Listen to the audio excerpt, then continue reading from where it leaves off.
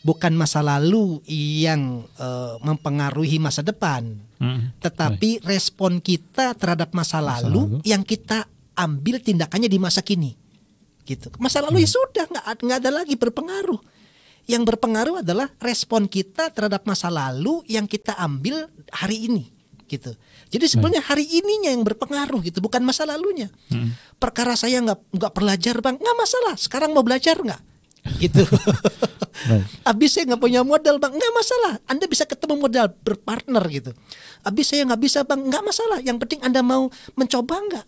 Jadi latar belakang kita itu kadang-kadang menjadi batasan kita menentukan pilihan.